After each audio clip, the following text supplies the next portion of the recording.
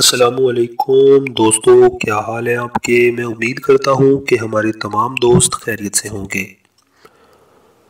تو دوستو، آج کا جو رشتہ میں آپ کو بتانے لگا ہوں، یہ بہت اہم رشتہ ہے۔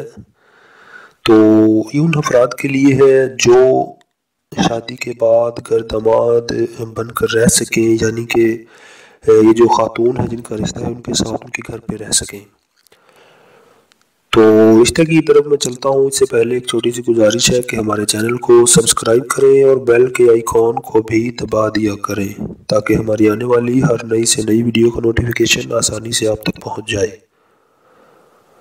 تو دوستو، یہ جو خاتون ہے، ان کا نام ہے کنزا بی بی چالیس سال عمر ہے اور ایک طلاق یافتہ خاتون ہے۔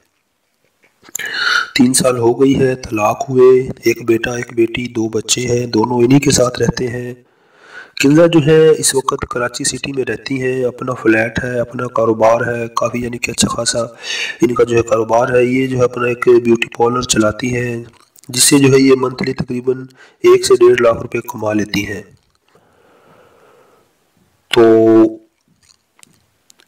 ان کی تعلیم جو ہے یہ بارہ جماعت پاس ہے، دیکھنے میں کافی خوبصورت ہے۔ یہ رشتہ ان افراد کے لیے ہے، ان ہمارے دوستوں کے لیے ہے جن کی عمر پینتالیس سال سے زیادہ نہ ہو، وہ پہلی یا دوسری شادی کرنا چاہتے ہوں۔ اس کے علاوہ شادی کے بعد ان کے ساتھ کراچی سٹی میں رہ سکیں، ان کے گھر پہ۔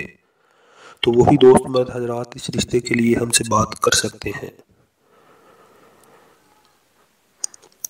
تو اس کے علاوہ جو ہے لڑکا کسی بھی جو ہے خاندان سے ہو فیملی کوئی بھی ہو، پاکستان کے کسی بھی شہر میں رہتا ہو، ذات برادری کوئی بھی ہو، ان سے رابطہ کر سکتا ہے۔